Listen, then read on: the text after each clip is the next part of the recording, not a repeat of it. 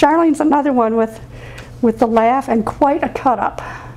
Quite a cut up, Charlene was. She was, uh, so many memories about Charlene. She just, she could lead you right down the path, I tell you. You get into trouble and have an awful lot of fun with her. she was fun. Charlie Freeman, the crazy girl. God, she was so funny. I always had fun. Worked down at the donut shop down there where uh, New Haven is. Larry is, um, he really, you know, he has, he's the toughest, you know, the tough guy outside, but on the inside, Larry really, really, truly is a very sensitive and kind person. Ah, Ken Saracen. Ken lived um, on, not far from where we lived on Main Street. He lived down on Clark Street. Ken was a nice guy, very popular guy in school. He just, he did, you know, in New Haven, everybody kind of did everything. And Ken was one of those guys. George Steiner, he lived on Carl Street in town, and he ended up marrying Chris Melton. And um, I always had a crush on him, but Chris ended up with him. Greg was probably, I don't want to get in trouble for this, but Greg I think was probably the best athlete in the class. Greg Davis. Nice guy, he's kind of quiet, but a really, really, really good athlete. Jenny Lavoie, she was my singing partner in choir. She had the better voice. and she went on to Carnegie Hall in New York. Jeanette Marie Cecilia Lavoie. Jenny um, had an absolute gift for music. She was uh, piano player. She well, piano player isn't a very good way to say it, but she played the piano and sang, and she carried that on into her life. She studied music uh, in Detroit and ended up in New York City. Susan was a real popular girl. I think she was. Uh, she may have been a majorette too. I think. Uh, she was really popular and a very cute girl.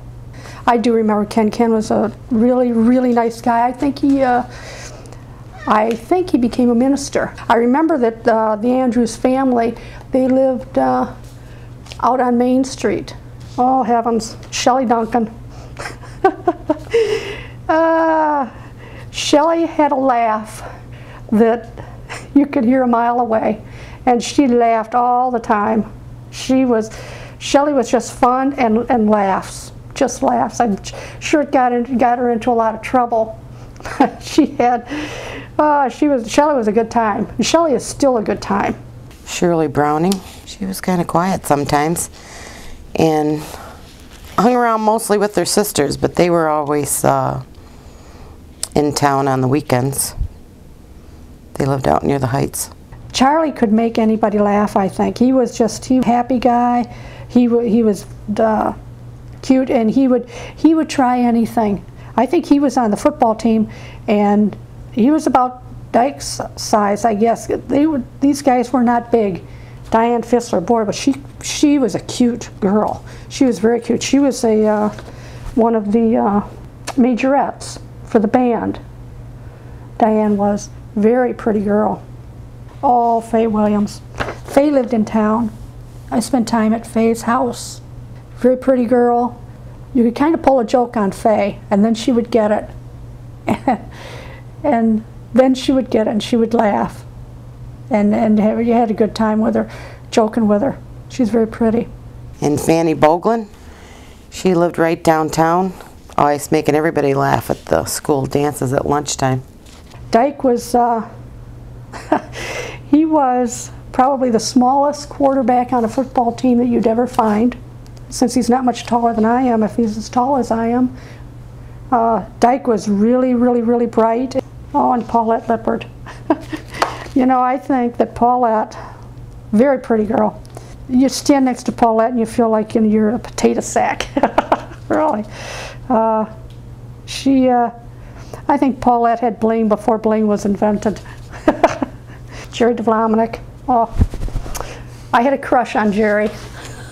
yeah he was a he really was a nice guy, and boy was he cute. Ooh, he was a cutie pie. I had a crush on him, and and actually uh, a lot smarter than I think a lot of people gave him credit for. And Pam Green, who's now Strasburg. uh, was one of our homecoming queens our senior year. And one of my friends through high school, through kindergarten. Well, I think we've been friends since, Oh, and Don Green. He was, uh, he may have been the, the, the, the cutest guy in the class. Well, next to Jerry Dominic, maybe. Don Green was.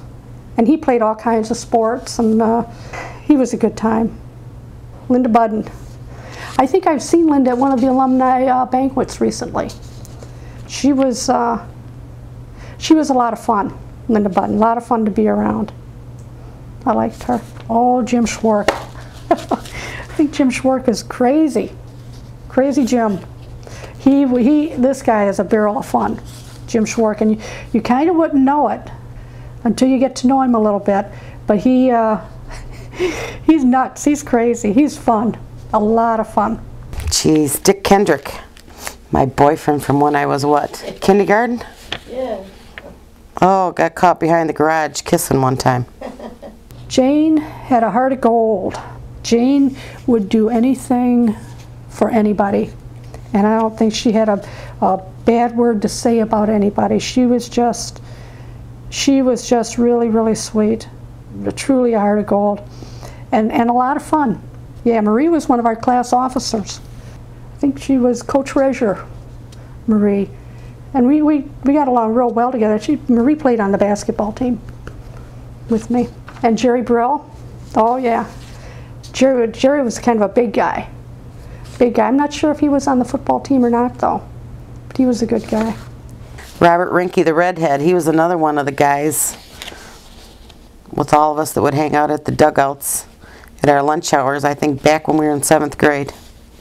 Doris was a really, she was another quiet person, uh, but just a real, really nice, nice girl. Anything, she'd do anything for anybody.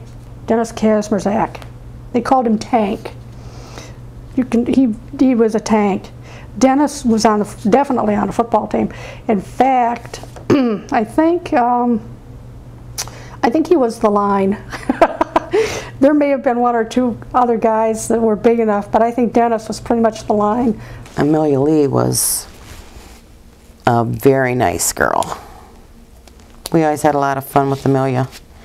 And if ever I needed some help in biology, I'd always ask her to give me a hand. Amelia was, was, was, one of our class officers. And Amelia was, all she was very bright, very bright lady. And uh, I, I very much enjoyed Amelia. I enjoyed talking with Amelia. She was, uh, I considered Amelia to be a friend of mine. Don Leapsight, they called him Louis. I guess that was after his dad. Louis Leapsight. oh my. He was one of the one of the guys like Dick Kendrick that uh, I don't, they just kind of raised a little bit of Cain, you know, but they were a lot of fun. Dennis Dixon lived out on Fairchild Road too in Mead by Jerry Brill. And I think they were pretty good buddies. Dennis was kind of quiet in school, but always smiling and had something funny to say. Mike Jones and Dyke Hines were like, you know, two big buddies together. Mike was bright. I think now he's living out, I think, in California. Susan was a real popular girl. I think she was, uh, she may have been a majorette too, I think. Uh, she was really popular and a very cute girl. She really was a nice girl, and she played basketball with us, I believe. She would. She was so very kind and a very, very, very nice person. Also very bright. Carol Cook was quiet in the class, but our class seemed to be the one that everybody got along. Everybody got along. We were always all together.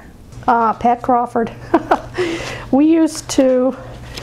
A lot of us would always go over to the Crawford's house. Ma and Pa Crawford, we called them, and always had an awful lot of fun over there. It was a great time over at Crawford's house, and Pat was real, uh, real sparkly, real happy girl.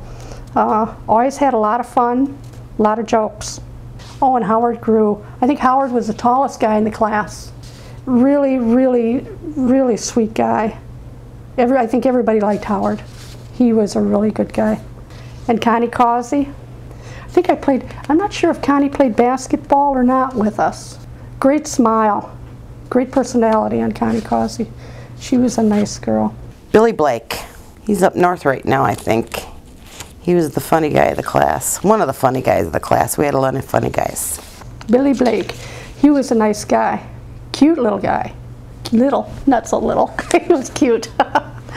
Bob Baltnick, the crazy guy. Yeah. Oh God, he was funny. He always used to be in our little group that we'd all get together with and just hang out in the out near the uh, little league fields on our lunch hours. Bob Boltnick. what a cut up. He was, uh, I think if there was trouble, Bob might have been there. You know, he was a really nice guy, though. He really had a really, really good heart, Bob did. I think because it's a small town, that there was a very, at that time at least, and I would hope that this hasn't changed, very much a sense of security in that town. That you could, kids would go outside and play, and the rule was you, you know, when the streetlights go on, you come home. And parents didn't have to worry about their kids. And uh, you grew up with the same kids for the most part. You went to school with them through all the grades. And uh, I, I think that it's, it's probably one of the best ways for kids to grow up.